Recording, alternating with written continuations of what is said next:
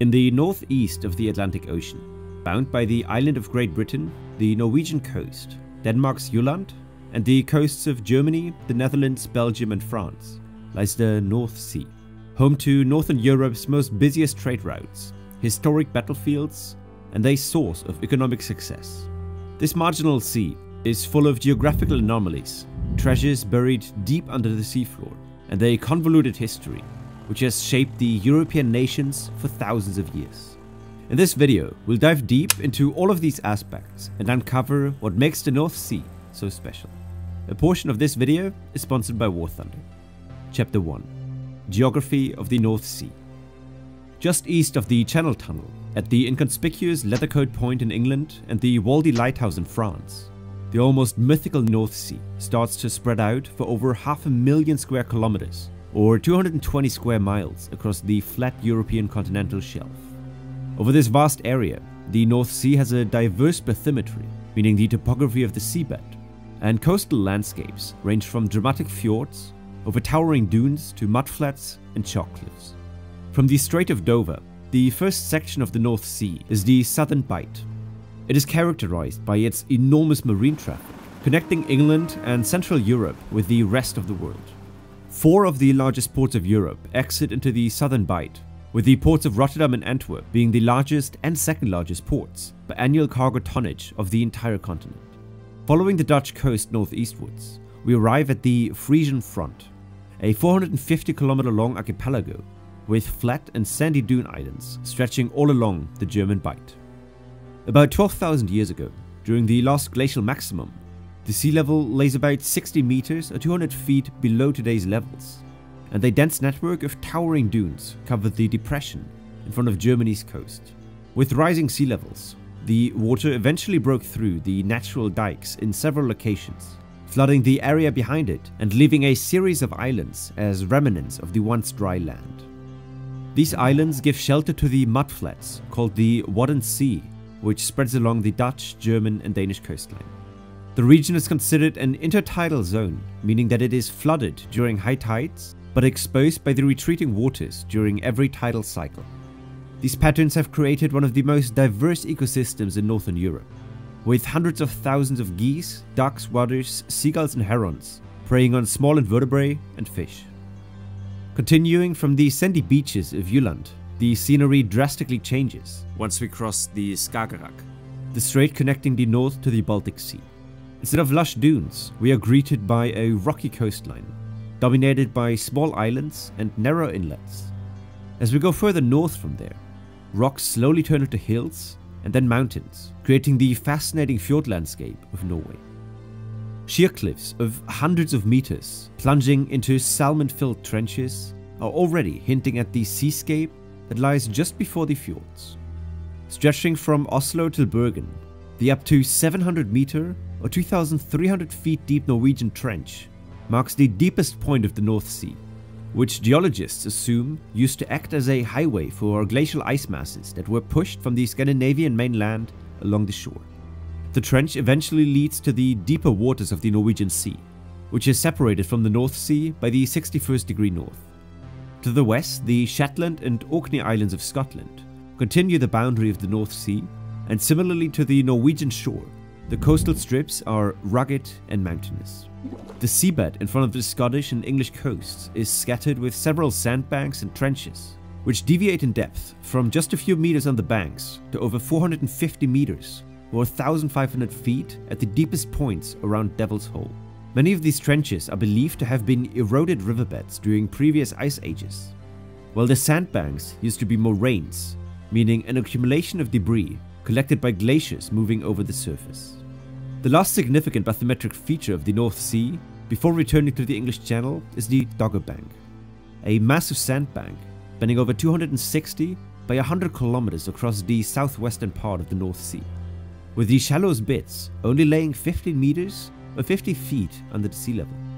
The sandbank is one of the most productive marine life habitats and has been exploited as such for hundreds of years. For equally as long, the Dogger Bank and practically the entire North Sea have been a battleground for European powers ever since the Roman conquest of Britain in 43 CE. Countless wars have been fought on its waters, and trade routes have connected the people of Northern Europe, bringing us to Chapter 2 The North Sea in History. Before we dive into how it shaped Europe throughout time, a quick word from today's sponsor, War Thunder. War Thunder is easily the most comprehensive vehicle combat game ever made, and is available now for free on PC and consoles. With hundreds of maps to play on, like the Norwegian fjords or the Strait of Dover which we are covering in this video, you can take control of over 2,500 different tanks, planes, helicopters and ships of 10 major nations. Join over 70 million players worldwide and play in epic PvP battles with vehicles from the last 100 years of military history. Discover an unmatched realism, with each component of your vehicle being susceptible to damage individually, and watch how you obliterate others when you hit them, using the X-ray feature, which shows you exactly what you hit on an opponent. War Thunder is available for free on PC, PlayStation or Xbox, and if you sign up now using my link in the description or the pinned comment, you receive multiple premium vehicles, the exclusive vehicle decor Eagle of Valor, 100,000 Silver Lions and a 7-day premium account.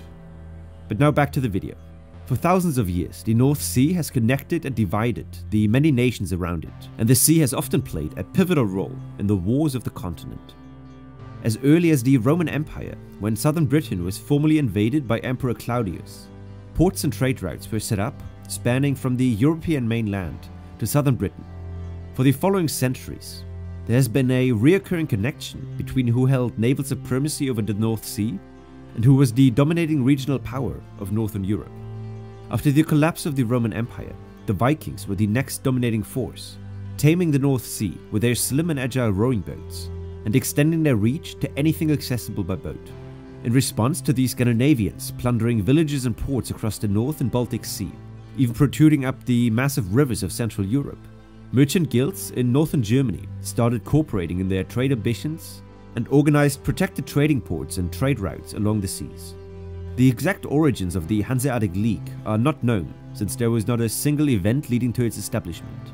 Instead, the network of merchants simply continued growing over the centuries, finding new allies in various trading ports and eventually covering most coastal cities in northern Germany, the Netherlands, and today's Belgium. During the climax of the Hanseatic League, their influence reached from London to the Russian Novgorod, and their political and economic influence rivaled those of contemporary nations. Technological advances in shipbuilding and navigation led to the Dutch and later the British becoming oceanic seafaring nations, gradually overtaking the Hanseatic League's significance in the North Sea and setting the foundation for their respective global empires. By the end of the 17th century, the British achieved naval supremacy over European waters, including the North Sea, which has stayed this way until the 20th century.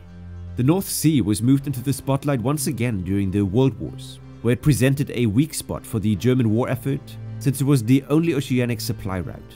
With a shift from naval battles to a blockade strategy, the Allies managed to severely hinder German supply lines in both wars, having a significant impact on the outcome of the war. With the end of the Second World War, the North Sea transitioned into a new era, and for the first time since civilization spread around its shores, all constituting nations were part of the same alliance, the NATO. This new era has brought with it a dramatic shift from seeing the North Sea as a strategic military aspect to it being first and foremost a vessel for trade, communication, and economic development. This development was even more accelerated when a black and sticky treasure was first discovered lurking under the seabed, bringing us to chapter 3 Oil in the North Sea. Post war Western Europe saw a dramatic cultural shift with rapid reindustrialization, increased consumerism, and the rise of the private automobile, which created a never-ending thirst for oil. The very sparse domestic productions in the UK and some parts of Germany weren't even close to keeping up with these needs, and Western Europe quickly became heavily reliant on oil imports from the Middle East. This dynamic, however, completely shifted when the Netherlands stuck natural gas at the Groningen gas field in 1959 in the northeast of the country. The reservoir, at the depth of around 3,000 meters or 10,000 feet, sparked the interest of many Northern European countries, since it meant that there is the possibility for further fossil fuel discoveries on the continental shelf. Especially Norway and the UK, the two countries with the largest EEZ in the North Sea, started extensive exploration campaigns, drilling hundreds of holes during the following years. It took Norway over 200 attempts at various locations across the North Sea, but in 1969, the fate of this rather insignificant nation changed forever. Almost at the center of the North Sea, where the EEZ of Norway, the UK, the Netherlands, Germany, and Denmark meet, Norway discovered one of the largest oil reserves of the North Sea, called the Ekofisk oil field. This discovery turned Norway from a simple fish and timber based economy to one of the largest and richest oil producers in the world, and the UK quickly followed suit in their discoveries. In the 30 years following the installation of the first drilling platforms, production has skyrocketed, and Norway has quickly achieved one of the highest oil production rates per capita in the world, bringing incredible wealth and prosperity to the nation. But the oil and gas extraction hasn't always been a fairy tale for the people working offshore.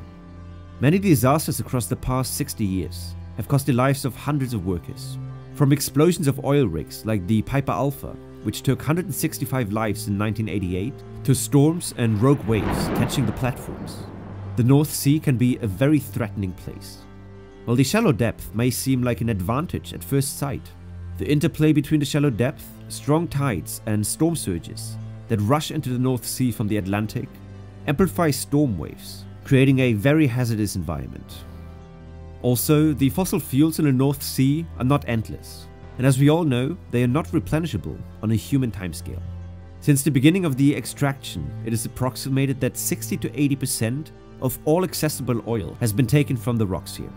The combination of these factors, which make oil extraction more costly, combined with a rising consciousness about the abysmal impacts of fossil fuels on our climate, is leading to an inevitable decline in production capacity since the turn of the millennium.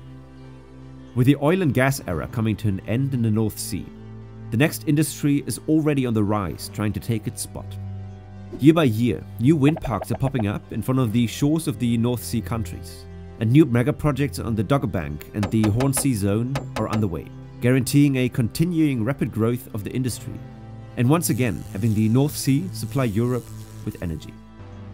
I hope you enjoyed the deep dive into the geography and history of the North Sea. And thanks again to War Thunder for sponsoring this video and allowing me to continue creating these little documentaries. Try out the game now by using my link in the description or the pinned comment and receive multiple premium vehicles, the exclusive vehicle decor Eagles of Valor, 100,000 Silver Lions, and 7 days premium account. Available now for PC, PlayStation and Xbox. If you want to learn more about the geography of Norway, I recommend this video explaining why Lofoten is the most beautiful place in the world, or watch what YouTube thinks is best for you here. See you in the next one. Cheers.